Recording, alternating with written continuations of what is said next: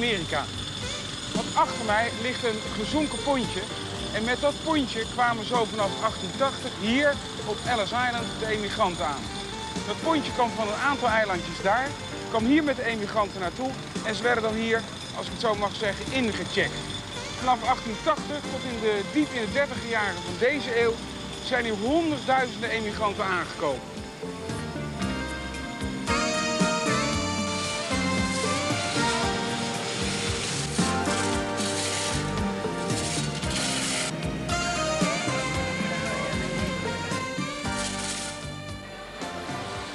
Eerste emigranten waren natuurlijk de negers. Maar die werden als slaaf ingevoerd en die hebben daar het vrijheidsbeeld nooit gezien. De moderne emigranten kwamen allemaal langs het vrijheidsbeeld, kwamen dan hier binnen en uiteindelijk kwamen ze dan in deze zaal terecht om gekeurd te worden. Amerika is een typisch voorbeeld van een uh, importcultuur. Want alle cultuur komt uit andere werelddelen dan Amerika, want de Indianen zijn bijna allemaal uitgeroeid. In 1939 en om precies zijn op 12 oktober 1939 kwam hier een Oostenrijks-Joodse emigrant aan, H.P. Kraus. Hij heeft allemaal opgeschreven in zijn memoires en die man was heel slim. Want in 1939 waren de omstandigheden voor emigranten niet zo gemakkelijk meer, want er kwamen ontzettend veel gevluchte Joden uit Europa. Die H.P. Kraus dacht, hij was in Oostenrijk al handelaar in het oude boek en handschriften, ik doe iets speciaals. En hij hield in zijn hand al op de boot een brief van Columbus omhoog uit 1494. Een brief waarin Columbus voor het eerst iets heel belangrijks over Noord-Amerika schrijft. Twee jaar na de ontdekking dus. Hield die brief omhoog en had ook wat vriendjes gewaarschuwd.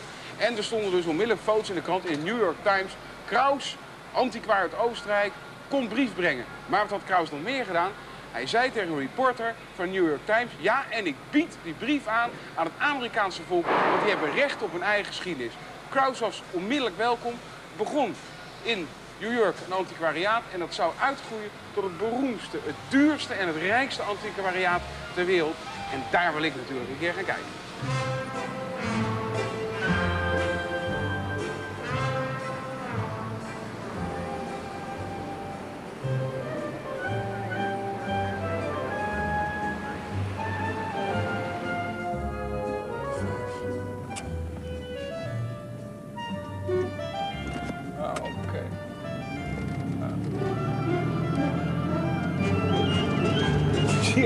Koelende auto, maar het is uh, 33 graden op het ogenblik in New York.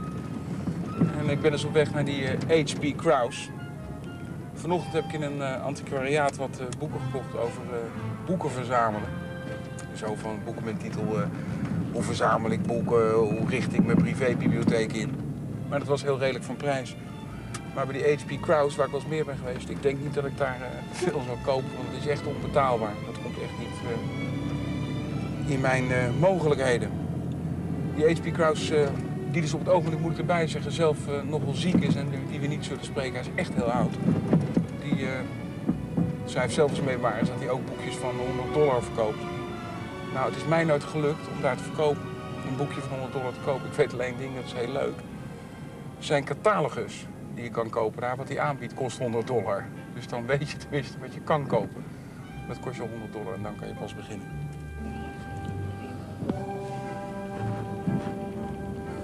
Ja, nou is het hier zo, uh, volgens mij, uh, linksaf.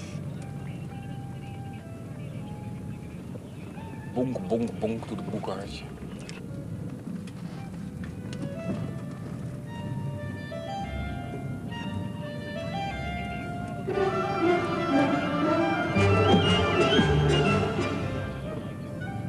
Ja, hier is het H.V. Kraus. Zie je dat? Zie je dat? Zie je dat? Oh, rijdt een... Uh, you go uh, a few yards, yes. Here it is. H.P. Kraus. Oh, jee.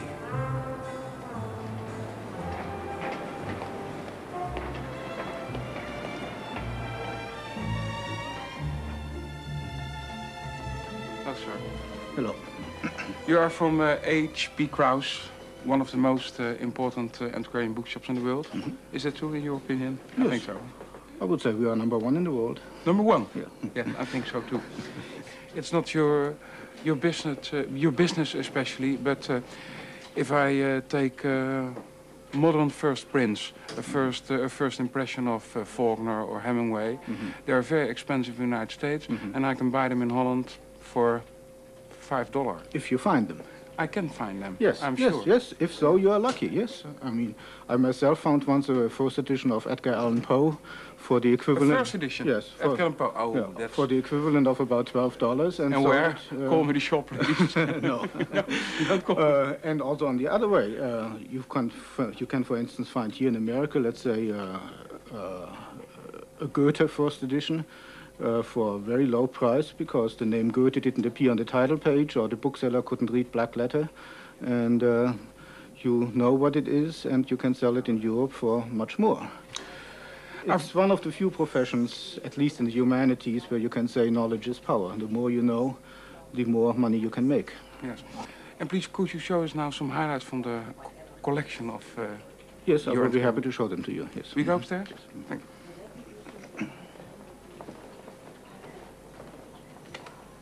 you.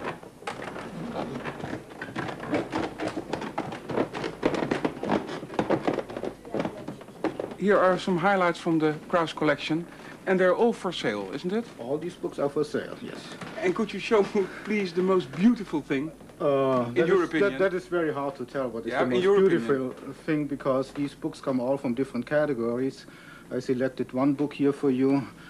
This is a book not only printed by Caxton but also translated by Caxton, the first printer from England. It is the well-known book of Reynard the Fox. Reinaert de Vos. There is there are only five copies known in the world, some of them being incomplete. And this is a complete and this one? is a complete copy, and it's the only one in private ownership. And it costs four hundred fifty thousand dollars. And the binding is, is later. it's, it's a later binding. Yes, it? it's a later binding, but it's in the style of the 15th century. But how long is this book in your ownership now? We bought it from the uh, private collection of Martin Bodmer Yeah, in the 1970s. Zurich, uh, yeah, in Geneva. in Geneva. Yes. It's sweet. And now it's it's how long it takes when you could uh, could sell it. A good book you prefer to keep, because the longer you keep it, the higher you, the higher a price you can put on it. And uh, i in these times where supply of books becomes very scarce, it is very good to have good books left from your earlier purchases, Yes. uh, as long as you can afford to keep it. May I hold the book? Sure. Ik wil nooit een vasthouden. I've, never held a Caxton. But I've not uh, $450,000 for you. I'm very sorry. One more book to show you that we are not only interested in old books. This is a It's book Russian. printed at the end of the last century in 1897. And uh, I don't know whether you can read Russian here. No. There's the author, Pavlov, It's pa- He- from the Pavlov reaction. Pavlov Reaction. And the Pavlov's dog. Exactly. Oh, that's, And- that's a famous And, book. and this is the book in which he first tells you about his experiments with his dogs. And it is one of the very few copies that are available in the West. I know a lot of false copies of this book. Yes. mhm, You know that? Yes. I've seen, I think, five false copies. And, this and, and this one here, for instance, has the original wrapper here. But And how do you know that it's a true copy? They're very... Well, because that's my business. I have to But be they are- able to decide whether I have a forgery have or you, not. have you never made any mistake? You thought it's, Well, it's every- a true ev- copy? Everyone makes mistakes, yes, but here I'm sure it is correct. You're very sure? Yes.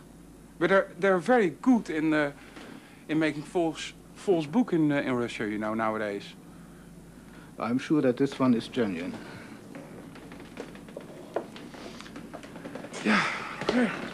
Veel te veel gezien. Bij elkaar ehm 4, 5 miljoen gulden. Ik zal weer onverrichte zaken naar huis moeten terugkeren.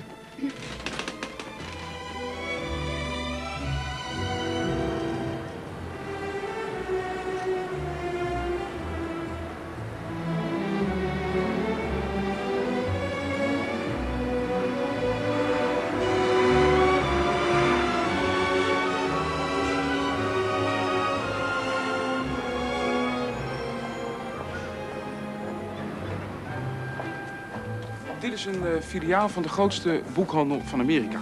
dit is mijn afdeling met allemaal boeken. Maar wat is het eigenaardige hier? Ze verkopen hier ook software, computerspulletjes, om het maar eens te zeggen. Hoe komt dat? Dat principe kennen wij niet in Nederland. En nou is hier stom toevallig iemand en die weet daar veel van. En dat is Maurice dan. Maurice, jij bent vaak in Amerika, want je bent de baas van een hele grote computerfirma, hè? Inderdaad. En wat mij dan opvalt hier is, hoe komt het dat de boekhandel en de software hier in één ruimte te vinden zijn? Dat kennen wij niet in Nederland. Nee, in Amerika, een groot deel van, nou, een groot deel, maar een redelijk deel van de Amerikaanse bevolking heeft een uh, computer thuis. Ik denk zo'n 15 tot 20 procent. En als die mensen software gaan kopen, moeten ze naar een winkel toe. En voor de boekhandel is eigenlijk software een heel logische aansluiting voor uh, normale boeken, tijdschriften. Je hebt ook boeken over computers en eigenlijk ja. software ook. Ja, maar nou, uh, geloof ik dat ze in de Library of Congress, de grootste bibliotheek uh, ter wereld, hebben ze zo'n paar opvattingen. Eén opvatting is, de software, dat gaat het boek verdringen. Straks hebben we geen bladzijden meer, maar zitten naar een schermpje te kijken. En de andere opvatting is, en die ben ik zo voor, van ik wil zo graag het boek in mijn handen blijven houden, een roman lezen. Zit er straks een roman op een scherm te lezen dan? Nou, ik denk niet dat het op die manier gaat. Technisch gezien kan het natuurlijk wel, kan nu al. Je kan het ook uh, misschien uitprinten via een printer, maar het gaat erom wat wil je zelf en wat vind je leuk en hoe groei je op.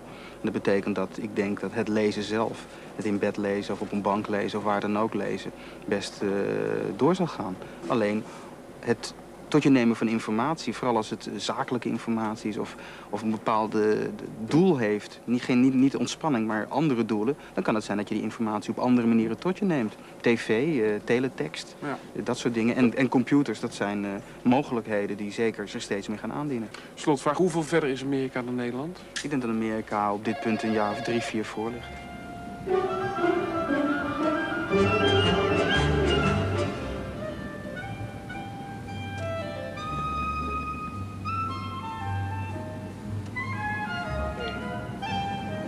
Komen het Witte Huis. Achter dat hek. Daar woont hier de president.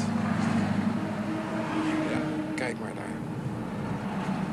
Ze zijn het aan het opknappen, zag ik net. Zie je? De vlag hangt half stok, er is iets aan de hand. En wat weten wij niet? Dat is het kapitool, het hoogste gebouw van uh, Washington, het regeringscentrum. En als je daar de trappen opklimt allemaal, dan ben je al moe wanneer boven bent. Dus je neemt nooit een vijandige beslissing. Als je boven bent, ben je uitgeput. Dat, is het, dat weet ik niet, maar ik weet wel dat dit het Hooggerechtshof is. Waar al zo uh, tien jaar de abortusdiscussie woedt, die steeds weer opgerakeld wordt door Reagan en zijn rechtse vriendjes. Dus, maar dat neemt niet weg dat daar is die.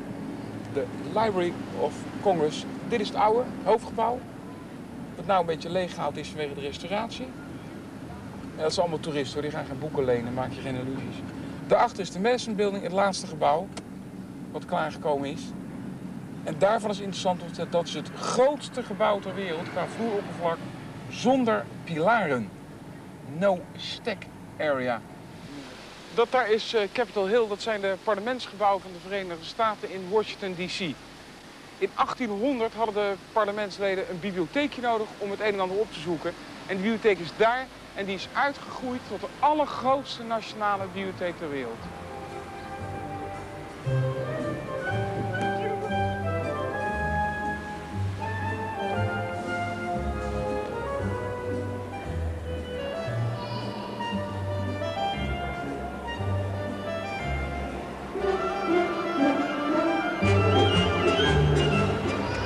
Ik ben hier in uh, de tempel van de bibliofilie het, uh, het hogerhuis uh, van de boekenliefde.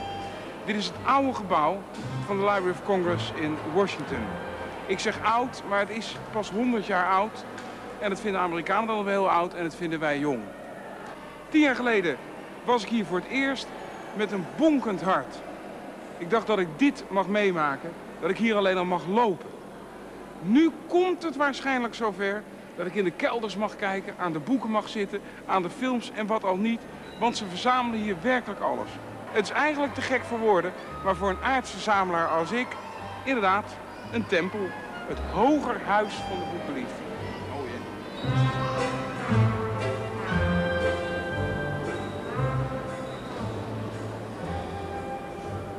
What's your name, please? I'm Nancy Bush. I'm with the Information Office at the Library of Congress. And we're going down to the sub-basement because we have many floors underground. In Washington, you can only build up six levels above ground because it is a law that nothing will compete with the skyline, with the Capitol. And here we now in, in the deepest floor. That's right. lowest. This is the lowest uh, level. It's the sub-basement. In this area, we have the stacks of the law library. Uh, These are thousands and thousands of books. And um, I'll show you how they work. We have very compact storage. Yes, th- th- there's a model. Yes. Very good. Thank you very much. And is, this is all about law. That's right. This is, in this section is United States law. There is, there is an equally large area that is international law beyond those doors at the end. Could we go to the international law? Yes, yes. Perhaps there is er wat Nederlandse wetgeving, Dutch law. We're now one, two, three, four, five. This is the, the fifth block, the sixth block, and then the seventh block. And that's the end, I hope. Is it seven deep? How much blocks there are? Is How much seven? blocks? Is it seven? Seven blocks. Seven. Seven blocks, and it's how many yards? 50 or what's a yard? Yeah, I can only think in Well, meters. it's, a- yes, it's a city block uh, for the United States, for Dus dat het de grootte heeft van een stadsblok. Alleen dit, deze afdeling van de bibliotheek heeft de grootte van een stadsblok. En een stadsblok is behoorlijk groot in Amerika.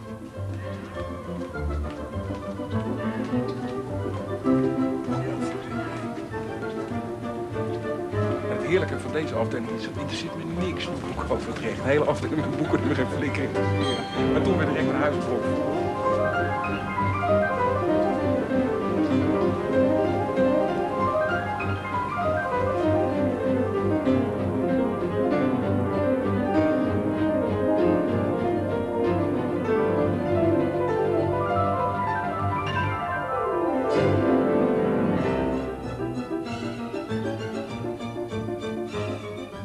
Transmeer kan lopen.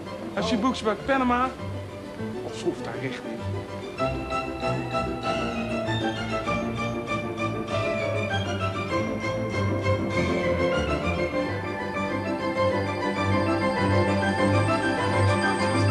Nou, Argentina, Brazil. It's hold of Netherlands here. Netherlands. You said they were in here. Yes. You said they were in here. I'm sure there are books in here. Kijk. Ik word er toch helemaal verdrietig van. It's Argentina, Brazil. Argentina, Brazil.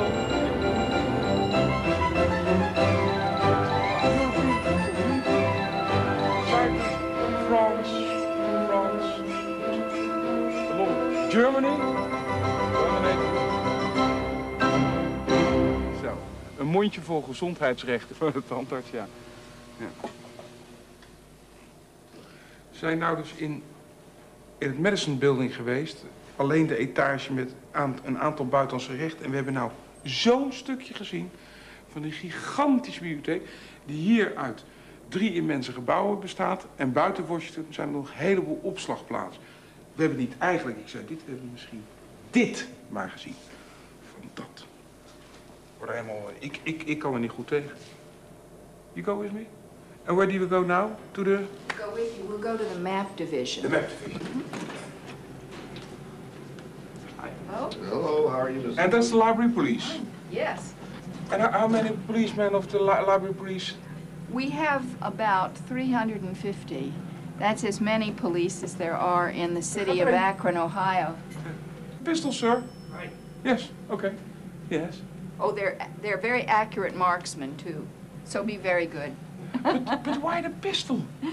It's part of the uniform. it's funny. You don't have a pistol. Dr. Graham, this is Mr. Book, Dutch Boudewijn Buch. Television. Pleased to meet you. Glad to welcome you to the uh, Geography and Map Division. And you're the head of the reference department. That's correct. Hi, I Jack. have one important question. Yes. I'm interested in the island of Clipperton. It's a French atoll. It's uninhabited. 4,000 kilometers before the coast of Mexico. Is there a map of Well, Clipperton Island? We may find something. Yes? We're here to serve the public. Thank you. Shall we Clipperton? This is a partial catal- card catalog which uh, provides an index to some of the maps in our collections. Oh, perhaps I can look here for, for Clipperton Island. You It's- may not find it because not everything is cataloged. We have... Perhaps is, is Clipperton Island. It could be possible. H-I... H-I-L-M... Kloppenburg? Oh, no. No. No, not in card catalog. And what's the next thing to do? Looking for Clipperton? Well, we have a topographic map series, which uh, may include it. Oh, Uh. The indexes for those are right over here. Heb je niet? Heb je niet? Dat is wel een hoor, hey. Live of Congress verslaan. Oceans. That's oceans, yes. It's a, it's a Northern Pacific. Pacific, North Pacific. Yeah, yes. Okay. Map. Okay. Perhaps we should... Yeah. It's, it's, I think here, Okay. that line, there. Okay. Um, Uh, all maps in here. well, this is um, where our staff works. This is our technical processing area. We keep try to keep every edition of maps, p- particularly pertaining to the United States. And you all, you also collect maps of Amsterdam and Leiden. That's right. Dutch cities, all Yes. the Dutch cities? Yes. We uh, concentrate on the United States, but our coverage is worldwide, uh, and we're interested in the major cities in all the countries around the world, and good topographic map coverage of all the uh, countries. And back to the map of Clipperton. Does Clipperton Island exist? It, it exists. Yes. Give me the Encyclopedia Britannica or something like that. We'll get some indexes. No, no, no.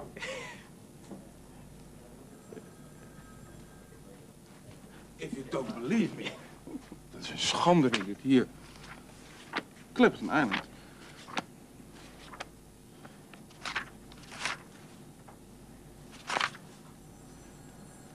Clipperton Island Okay. is een isolated atoll in the Eastern Pacific. Nou, ik zal de camera ook voor laten zien. Laat zien, wat even. He doesn't believe me. Yeah, it's Clipperton Island. Okay, fine.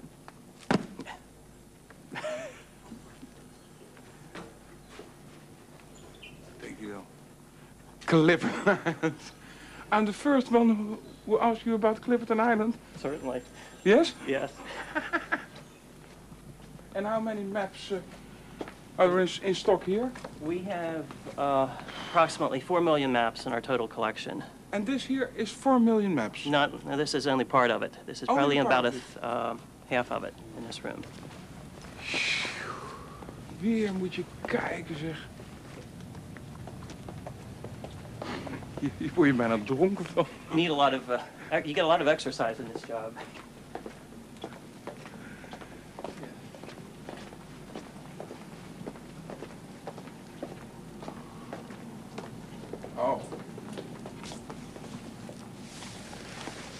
Examples of the uh, fire insurance maps. This particular one's Holland, Michigan. Um, The first coverage was done in 1883, and they show the major part of the town on, what, six sheets? And major businesses are identified. This is a tourist map of the state of Michigan, using pictures to describe the tourist spots. And let's see, over here on Holland, they have a windmill. yes. But you are conserving everything. Where you you keep these maps in the library?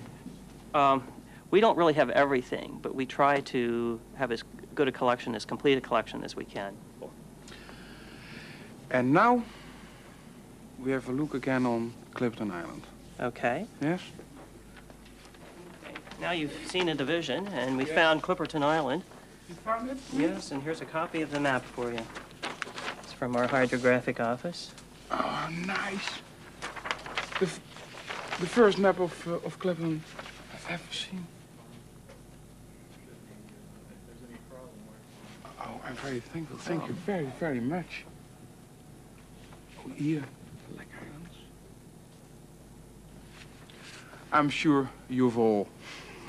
You're the greatest, the largest, and the biggest library in the world. Well, as far as we know, we have the I'm largest sure. collection. Thank you very much. Okay, you're welcome.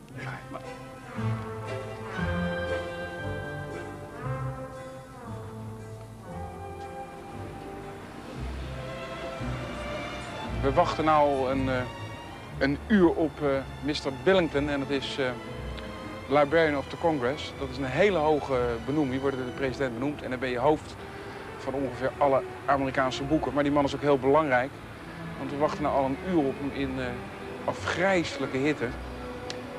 De of Congress is een politieke benoeming. Hij is ook door Reagan benoemd in september van het afgelopen jaar. En hij is heb ik begrepen, niet echt zo'n uh, boekenvriend als de vorige Librarian of Congress, Mr. Borstein.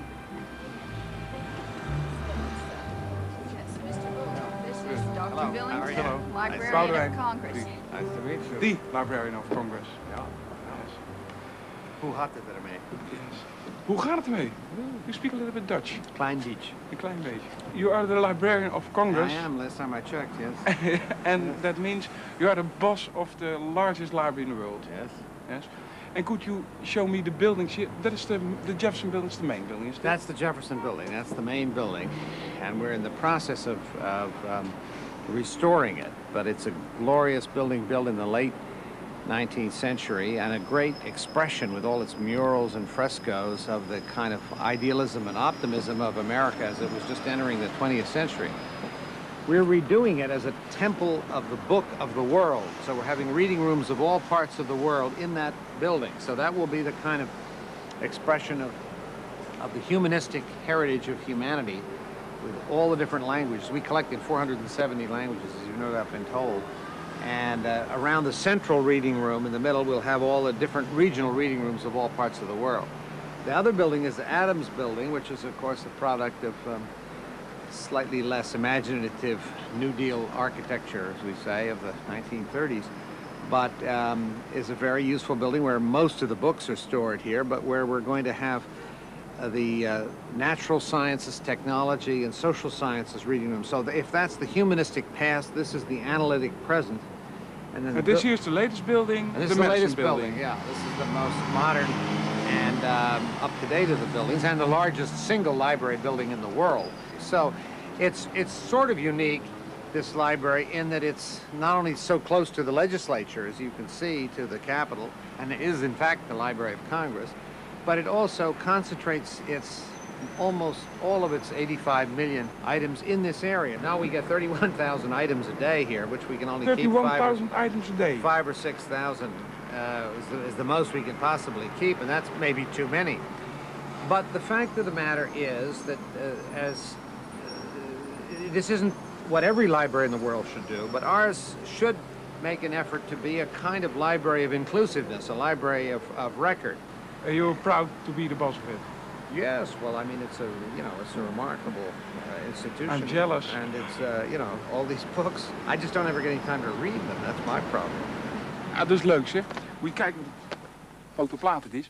Dit is een 16 inch plaat. En dit is een plaat en die werd gebruikt voor uh, de troepen over zee van uh, Amerika. Zo werden radioprogramma's aan ze opgestuurd. Ik hoop dat de camera het een beetje kan zien. Waar ben ik? Ik ben natuurlijk nou weer in de muziekafdeling van de Library of Congress. En dan hebben ze weer ongelooflijk veel jazz, pop, rock, noem maar op. En ook alle radioprogramma's die ze toestuurden aan de jongens over zee. En dan heb ik hierop gevonden een nummer van de Crickets. Nummer 5 is dat hier. En ik zou benieuwd of daar Buddy Holly op te horen valt. En ik zal eens even laten zien. Ik hoop niet dat het valt van, van de collectie van de bibliotheek. Kijk, kijk wat een grote plaatje, jongens. Meenemen kan niet, opvouwen kan ook niet. Maar ik kan hem wel laten draaien. En dan ga ik nou vragen aan een deskundige daar of die hem voor mij kan draaien. Please sir, can you start the record? Yes, will. En dan, ik ga naar boven de plaat luisteren. Wie Everybody happy. Next Melancholy Baby. There you have the gang that sang that uh, old gang of mine, Heart of Mine, anyway, one of those things. Here's the crickets now as we move back in the pop deal, and uh, that'll be the day.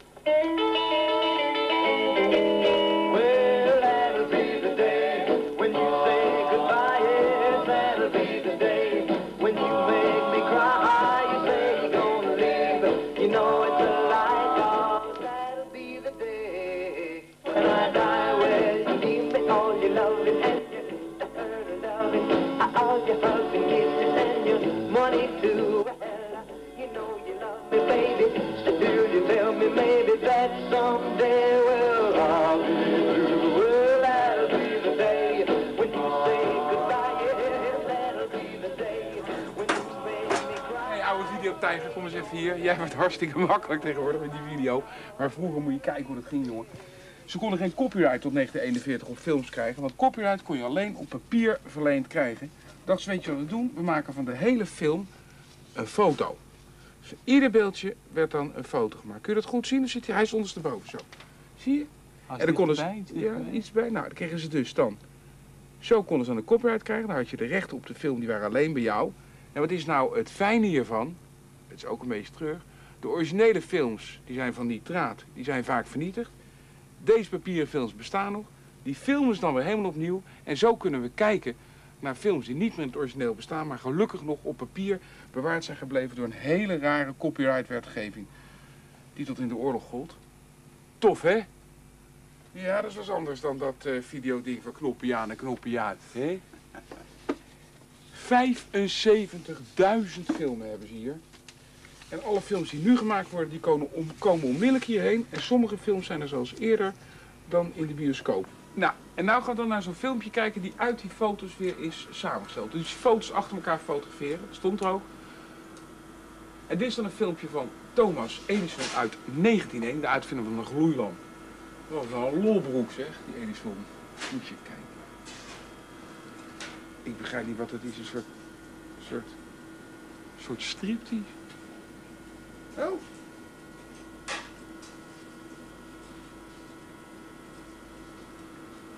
...87 jaar oud, hè? En gereconstrueerd. Kijk die daar.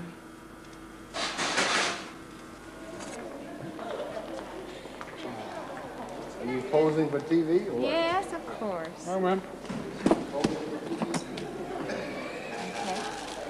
We go through and we check for Yeah. library property. No. It's all mine, this. I know. Yeah, thank you. Thank you. Have a good day. Bye-bye.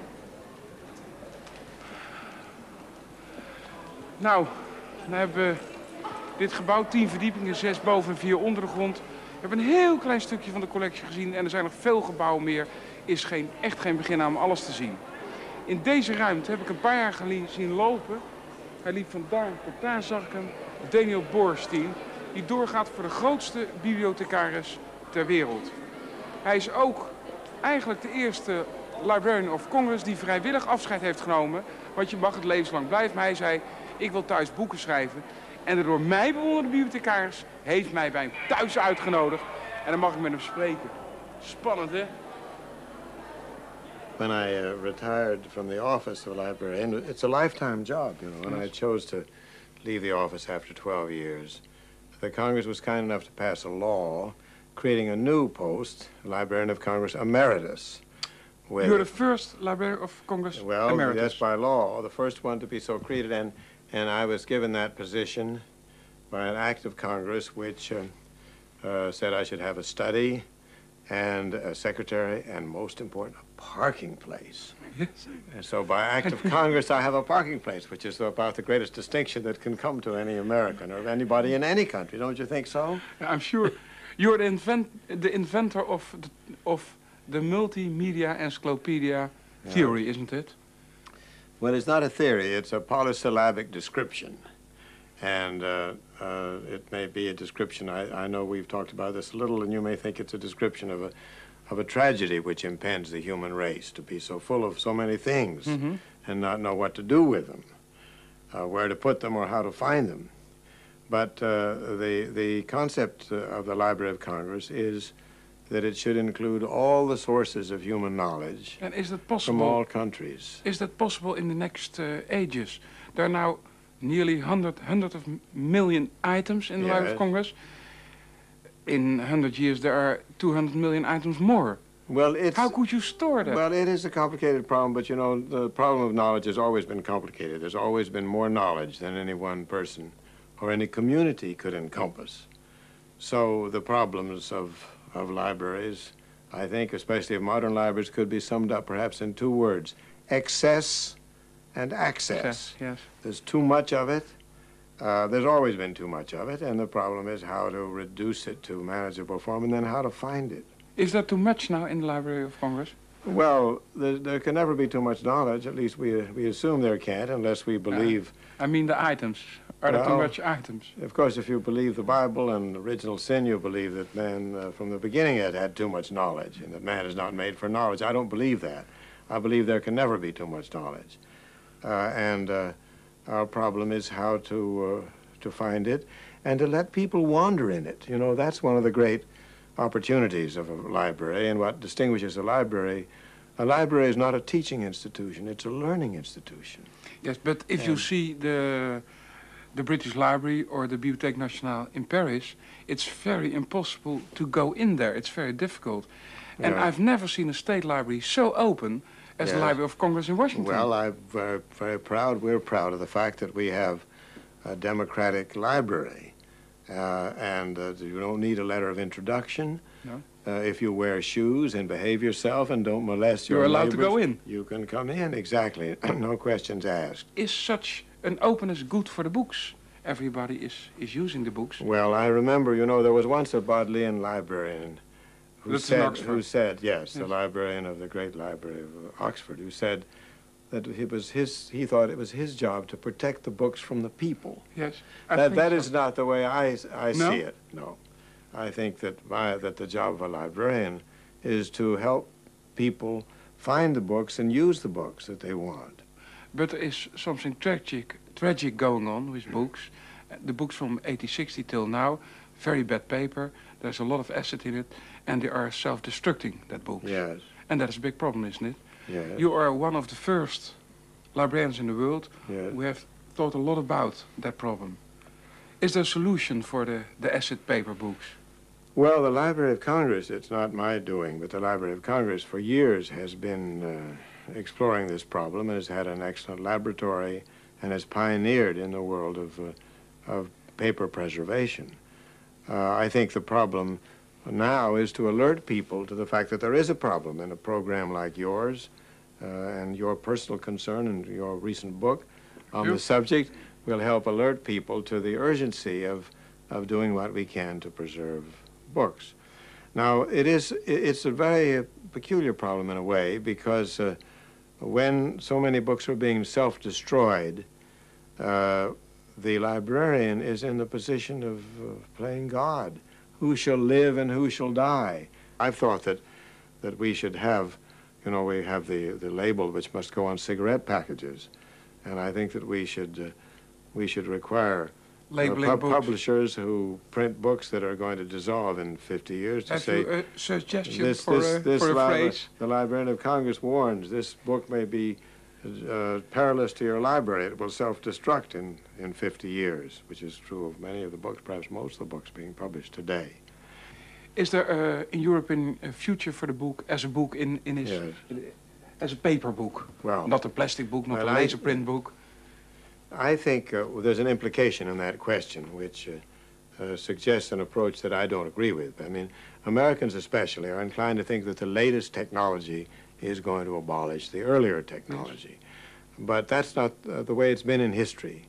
Uh, the, uh, uh, when television came, it did not uh, defeat the radio. We have more radios now than we ever had. That's true. And uh, uh, also, the automobile did not uh, conquer the bicycle. Uh, and the same thing is true with, uh, with other technologies. Now, I view television, for example, as a technology which is complementary to the book. Uh, and uh, uh, it's our task to find ways to make television more useful for encouraging reading and to use reading and use the conventional book to encourage people to do more intelligent television watching. And I think that the, the conventional book uh, will continue to serve us. Uh, for one thing, uh, I love it. I love to go to bed with it.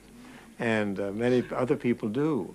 And there's a, there's a versatility to the book which you can take with you. And you can provide the power source. You don't need to plug it in. You don't need to recharge it.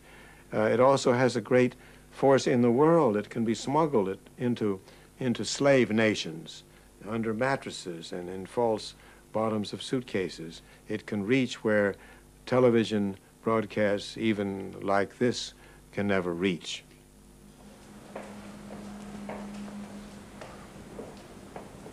Nou, een oude wens in vervulling. Weliswaar een beetje leeg. En in restauratie. Jezus.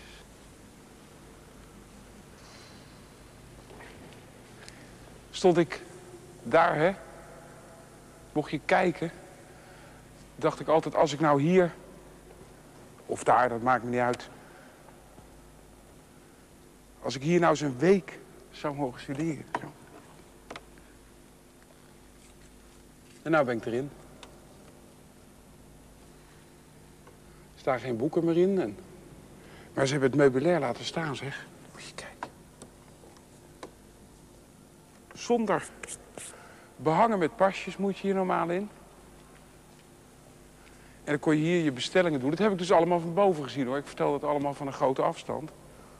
Maar nou mag ik zelfs achter de uitleenbalie.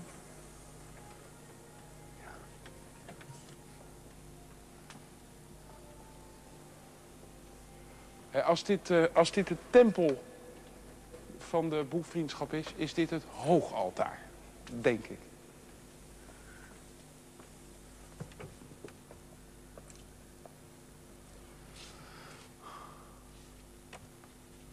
mooi hoor, om hier een keertje Maar ik weet ook direct zeker dat het de laatste keer is. Of misschien, nou, nou ik hier wat mensen ken... dat ik misschien een pasje voor 12 minuten krijg.